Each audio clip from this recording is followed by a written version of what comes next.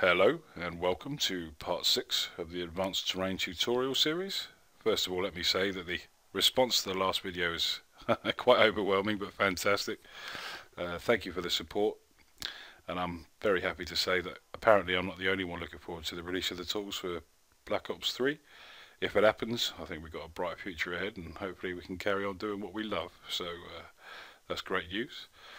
Um, Back onto this video though, in this tutorial we're going to be taking a look at blending and texturing on terrain patches, things we can do, things we probably shouldn't do, and everything in between. So hopefully we're going to take a basic setup like this and turn it into something that looks like this over here. So here we go with that. Let's get on with it. Okay, so we've got our basic setup over here. What we got? We got an asphalt piece of terrain running through the middle. We got dirt either side of it. I'm just going to change my textures in the 2D window back to wireframe. And with that done we can see what we've got. Two patches either side and one in the middle. And what we need to do essentially with blending is hide or make a transition between these two textures. It doesn't have to be complicated and obviously the most efficient and easiest way to do it is to take a copy of this central patch or our asphalt copy and paste, shift, uh, pressing uh, control C and then control V and then we can select our corresponding decal or blend texture to our surrounding terrain. There normally will be one if you're using the stock textures. Uh, highlight the central line of uh, vertices, press G to bring up our tool and then blend that away. That is the most simple blend. It looks perfectly fine. There's nothing wrong with that and in some cases that'll be all you need. But if you wanted to go into more detail you certainly can and uh, I'm going to show you how to go into that now. So that's a perfectly fine blend, nice and simple. We don't need to do any more than that in some areas of the map, that's all you're going to need. But we want to go into more detail, so we've already kind of run into a bit of a problem here, and that problem is that we're not being able to remove enough of the blend texture to reveal our base texture, or enough of it as we might like. So to do that, we're going to need to add more vertice columns. As you can see from the previous one, it was only taking away so much from the one vertical uh, one vertice column that we had. So to reveal more of our base texture, we have to add more vertice columns into it. So that's what I'm going to do now. So I'm just going to add one over to this side. I'm going to do the same on the other side. And you'll notice that I'm adding and then removing rather than adding and then moving the vertex column where I want it. And there's a reason for that. If I get rid of the excess here, if I were to add a column and then move it over, that might create problems further down our patch and we might not want that. So if I just come over to our more advanced patch over here, I'm just using this as an example in my little test map here. So if I just come over to my other road, it's got a bend in it, it's a little bit more complex. So if I just add a vertice column into this one, and I try to move it, you'll see what happens. It creates a problem a little bit further down the patch. So now I select that and try to move it. Oh, oh, it's warped everything all along it. Look, we're going to have to go in and fix that, and that's going to be a proper ball ache. So we don't want to do that. So the best practice, as you can see, that's just going to be a nightmare. Add vertice columns until they're in a position you want them and then remove the excess. And that's just going to save you from a lot of work later on down the line trying to move vertice columns into position especially if you're doing roads because they tend to be longer patches. So that's just another little tip. Add vertice columns until they're in the position where you want them and then remove the excess so now when we apply our uh, blend texture, we can remove much more of it and we can get it closer to the edge and reveal more of our base texture. So add vertice columns in until you achieve the level of blend that you like. Uh, the other thing is, since we haven't actually got any blend texture on the central portion, we might as well split that away and delete the excess. Again, keeping control of our assets and it keeps that patch um, into one selectable patch. And now all we've got is two thin strips of terrain creating that blend or that transition between our textures. And that's all we need. And now of course we've got that blend in place. We can swap and change these textures as much as we like. We don't have to stay with these of course. But once we've got these in place any old texture will do. Unless, of course, you want to use a texture like this one here. If I come back over to our already pre-prepared example, we got this rough edge line to it. This is a little bit more complex to achieve, but nonetheless, once it's there again, we can replace it with any texture we want.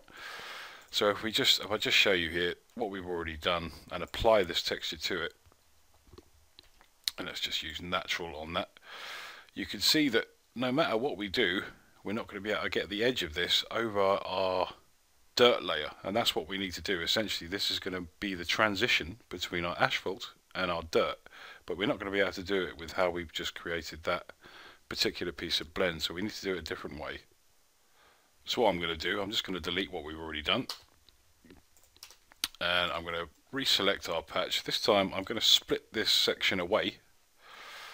Uh, and once I've done that I'm going to add another vertice line down the middle and I'm going to split that again. So now we've got two separate patches. On this far edge patch I'm going to use our dirt texture. It's important every once in a while just to cap our textures just to make sure they line up. But we've got our two separate sections here. I'm going to select them both. I'm going to copy and paste them both.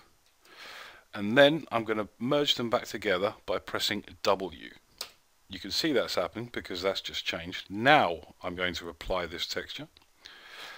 Natural that again. I want the edge on this side so I'm going to rotate it. And actually that's worked out pretty well. We've already got it in place. But just to blend between this edge texture and our asphalt, I'm just going to reselect the edge and blend it away. And there we have it it's in place. We've got our nice little rough edge and it works pretty well. Um, just a little tip, when you're maneuvering textures or moving them around on a patch, if I just reselect that, if you press and hold Alt and then press and hold the right mouse button and move your mouse around, you can make tiny adjustments without having to use the surface inspector. That's just a handy little tip. You can move it however you want that way. So with that done, another thing I like to try and do is keep a lot of these patches uh, as one as much as possible. So I'm just going to select our asphalt, reselect the underneath layer and merge those back together. So that's one piece. Same on the dirt. And this just helps us when we're changing things around. So we've got our asphalt and our dirt back together again and we've got our blend or transition texture between the two and it looks pretty good. Of course we'll have to do the same on the other side. Um, just another little tip about selecting textures. Uh, this will work quite well. Without anything selected, if you wanted to select every patch with a certain texture on it uh, for a quick change, highlight it in our textures window and press Shift A. That will highlight every single patch that has this texture applied to it. But of course, remember, if you're going to change it and you don't want to change everything, it's going to select every, every other texture with it on. So um, every other um, patch with the texture applied. So this is only useful if you're going to change um, a particular texture. Okay, so select it in there without anything selected in the 3D or 2D window, Shift A, and that will select every single patch with this texture applied to it. That's quite handy.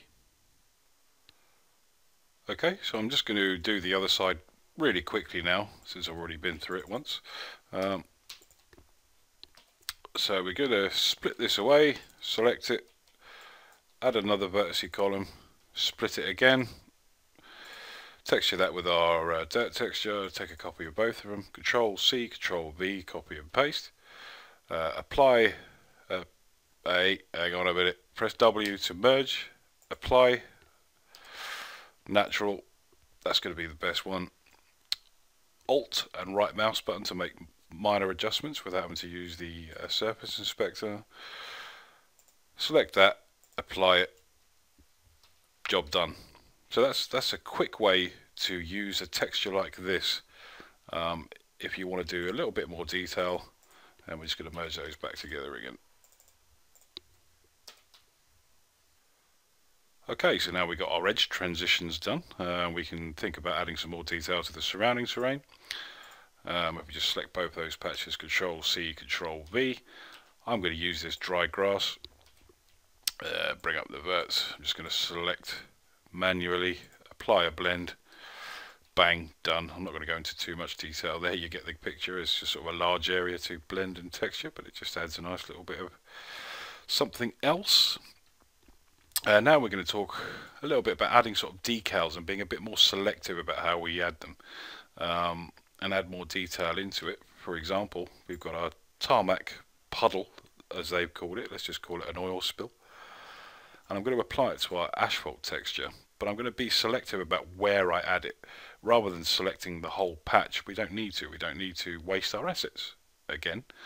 Um, so I'm going to select our asphalt and since it's a small area it's not particularly complex patch I'm just going to split away these edge parts because we don't actually want this texture applied to those. We're not going to use it so we don't need it. Reselect our patch control C control V apply it and then I'm just uh, going to manually select again where I don't want this texture blend that away. Uh, now I, I think that's a little bit too prominent. I want to knock that back a bit so I'm going to use our um, advanced patch editing tool, uh, flatten an alpha, remember, come back in and I'm just going to blend that away, really just just knock it back a bit. So it's just not quite so prominent. I want it just I want it there but not so much. So I'm just going to do that until I'm happy with it.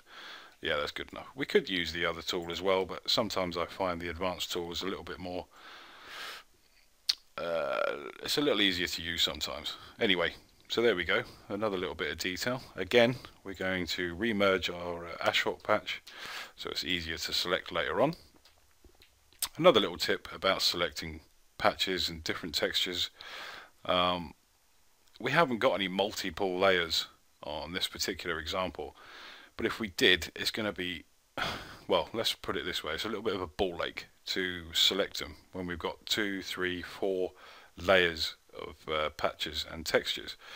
So this only works on the later versions, but COD4 World at War, if you right click in the 3D window over a patch, you see it brings up this drop down menu. It's got all of the layers listed and we can select our textures this way or we can select all of them. We want to select our dry grass, so we just click that one. So that's another little tip, it's quite handy, but I try to keep the multiple layers as low as possible. It's just really, uh, it's, it's a ball ache. So on that note, I'm going to leave it there for this tutorial. I hope you've enjoyed it. Uh, I hope it's been informative and I shall see you on the next one. Cheers.